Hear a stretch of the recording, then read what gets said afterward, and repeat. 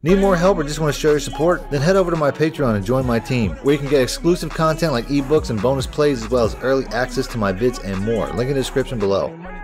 Alright, welcome back YouTubers and Madden fans, this is Madden Money Shot, bringing you another Madden 18 Money Play Scheme video. I got the Raiders today, this has got to be my most requested playbook, and I'm fulfilling that. Uh, so you guys, if you guys want to see more Raiders plays, hit the like button and I'll do that. This is kind of a short scheme, I'm not sure if I'm going to have enough for a two-part series. I'll probably have a one-part series and the rest will be on my Patreon. But uh, like I said, I got a lot of requests for this. I got a lot of, I got a whole list of requests that I'm going to try to fulfill one after the next. Uh, but the Raiders I did end up using in a, in a situation where I was labbing them, so I came up with a pretty good uh, set of plays. This one right here, this is a very unique formation. This is the formation called the pistol wing. Uh, what makes it unique is you have a, um, you know, you have a two tight end cell on the one side, and then you got a receiver. It's just, it's just a little different. It's not, it's not the, you know, the biggest difference in the world, but there's some really good plays in it. And uh, the first one I'm going to show you is probably the best one. It's the strong power. The strong power is in a lot of different formations. It's in a lot of formations where you have, you know, three wide receivers, uh, two tight ends, with uh, no wide receiver on the outside. What makes this one unique is it has two tight ends on the outside. Plus, you have uh, two pulling guards. I mean, that, just do the math. That's an outs, that's an amazing uh, blocking advantage you're about to have. So let's go ahead and let's pick that. Like I said, plus you have a blocking receiver, which a lot of formations don't have. This is the only one I've seen where you have two tight ends on one side and a receiver and two pulling guards. I mean, this is just let's pick that. Let's give myself the toughest defense I can. I got the Chiefs, which is a pretty good defense already. So we'll go Ram three four. Now, in other formations, I would say you want to flip the play with the right stick, but given the, the huge blocking advantage that you have, that's really not the way to go. Um, you can see how, you know, there's just, oh, look at all the pulling diagrams you have here. Now, Walford here, his job is to seal the edge. If you want to, you can motion one of these tight ends out. I don't find it's necessary, but it's something that is always an option. It's a good, um, you know, technique. I might have a couple pass plays where you can mix in that motion, but it's something that's, you know, can definitely draw attention um, from the from the user opponent if you have an opportunity to do that. I wish I could move this guy over. That'd be even crazy, but obviously you can't do that. But I think that motioning him in like this um, is going to be helpful to distract your opponent as well. So let's go ahead and let's run this a couple times. Um, hopefully that guy doesn't get that edge. He almost did there. Uh, first play, you know, I got about 10, not, not too great. We'll get more. It's always a transition going from talking to running these plays. Look at that, dude. That corner just ran. Look, he fell again, like he's dead. He taught me a lesson. All I had to do was make him miss, too, and I'd have been gone. Um, all right, let's get inside. There's always going to be lanes. In, come on, bro. That was a touch. Wow, they're really stacking this box. All right, so let's go. Man, we got some chop blocks out here. Oh, let's go. You got shook and... Oh, man, don't catch me. Thank you. First touchdown. Let's go. Man, Chiefs are standing tall today. Oh, my goodness. Now, that is blocking right there. Oh, my goodness. Oh, my goodness. now, that's blocking. As you see, I switched it up. I put a speed back out there. Oh, man, that's just dirty. Yeah, that's right. Just single, just ISO that guy, make a miss. I mean, they're really stacking the box heavy right now. I mean, this is like eight in the box every play, and it's still getting it done. Oh, you got to make that block, bro. Where are you going, 15? Turn around and block. You can see I'm getting much better results with a speed back. Uh, I tried to run with Marshawn Lynch, and it worked to an extent. Let's see if I can crack one more touchdown here.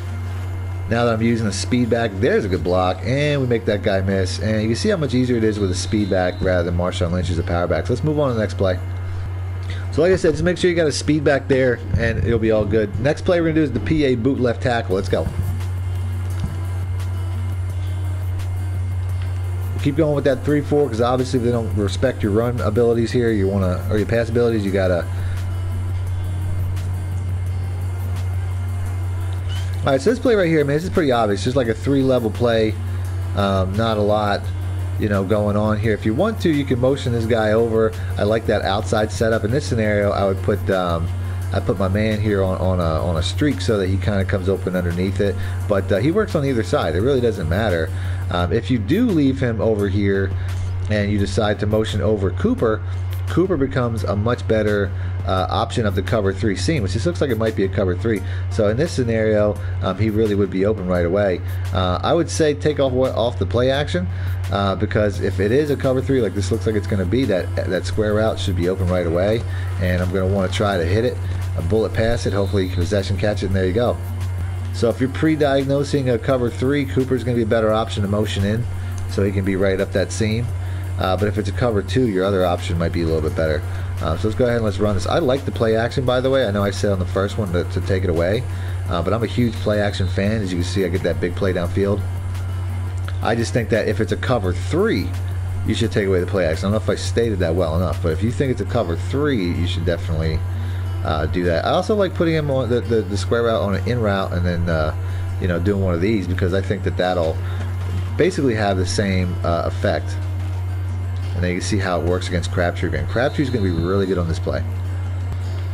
Yeah, I like, honestly, I just like running it just like this. Just motioning in uh, Cooper here, put him on a streak, and run it just like this. I find that he he pulls coverage enough that these tight ends get open in, in his wake um, really well deep downfield. It's just a really good setup. So much going on.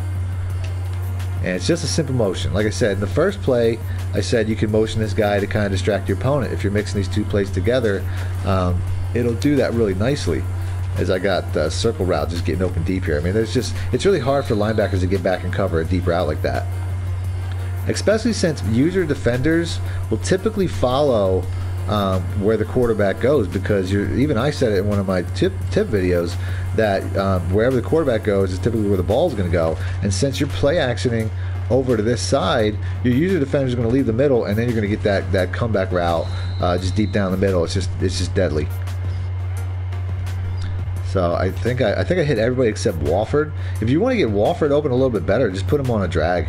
Um, that's really a better route for Walford, and it works pretty good against. Um, he's not a good tight end, but it works pretty good against the two tight end setup. Yeah, Walford's job really is a check down. It's a better check down if it's a drag, but ultimately he's just a check down that plays off of the other tight end. And Crabtree is just money. All right, so that's it. We'll move on to the next play.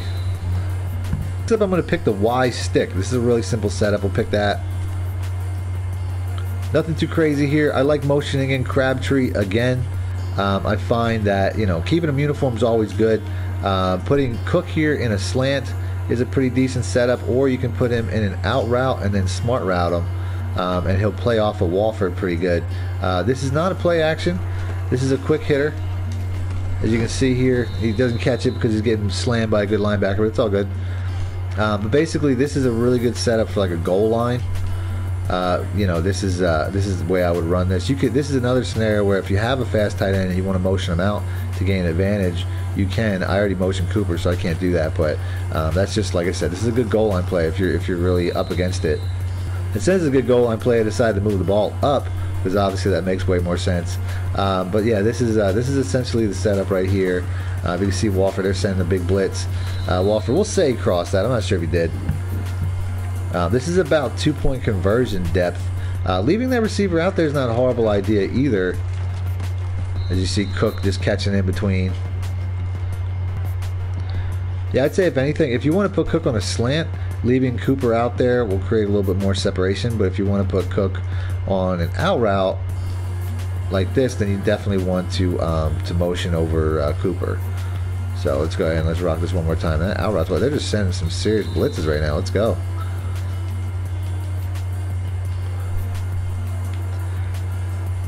So I'll go ahead and I'll run this one more time. I still like crossing Cook, even though that's, you know, like I said, it's not the best way to go. Um, Crabtree there, putting him on an in route would be a very good check down as well. Um, as you can see, Cook is just wide open late. He just burnt that. Uh, but this is, you know, this is more than just a uh, a goal line play. It's it's a good play anywhere on the field, but it's just really hard to cover in that shorter space. Every every route really is meant to score. So we'll run this once or twice more because I can't say that I really ran this play too much. Smart routing, Cook is the way to go. Um, I didn't, uh, I couldn't do that on the goal line obviously because there's not that much space. But you can see how it creates separation for Cook in a smart route scenario, playing off the other tight end. Um, like I said, if you think it's a zone, you could always motion out Walford. I'm not going to do it here, though. Uh, but you see how that guy has to react to that. And then the linebacker's stuck in between the two. Oh, look at that move by a tight end, though. By a tight end, though. If you watch how that linebacker has to react to the incoming uh, slant, it really it just kind of confuses. It's really hard to pick what they're going to do. I mean, there it's a man. As you see, Cook's just going to beat it because Cook's a pretty good tight end. I want to see another zone look though, so I can show you how. You know, if you're not watching, see how that tight. See how that linebacker has to react. He has to stay in his zone to react to the slant. Just lets the tight end get wide open.